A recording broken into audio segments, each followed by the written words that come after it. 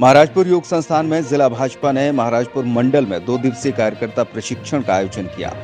सबसे पहले दीनदयाल उपाध्याय, संस्थापक सदस्य भारतीय जनसंघ और अघोषित स्वतंत्रता संग्राम सेनानी स्वर्गीय माता दीन चौरसिया की प्रतिमा पर माल्यार्पण किया गया और कार्यक्रम की शुरुआत की गई।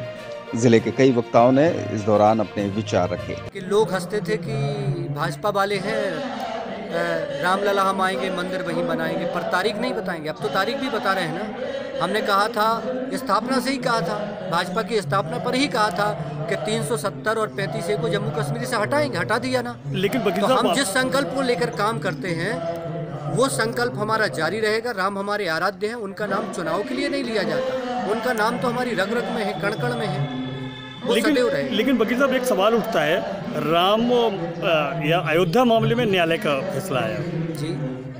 तो इसको क्या बीजेपी के अंडर में न्यायालय काम कर रहे हैं फिर? ये माना जाए?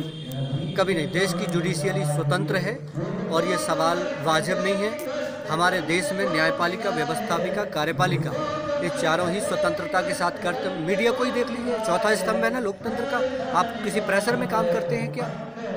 जो भी सवाल आता है पूछते हैं। तो आप जैसे जितने स्वतंत्र हैं ना, मीडिया देश में सब, मीडिया जितनी स्वतंत्र है, उससे सबसे ज़्यादा कोई स्वतंत्र है तो देश की जुडिशियली है, न्यायपालिका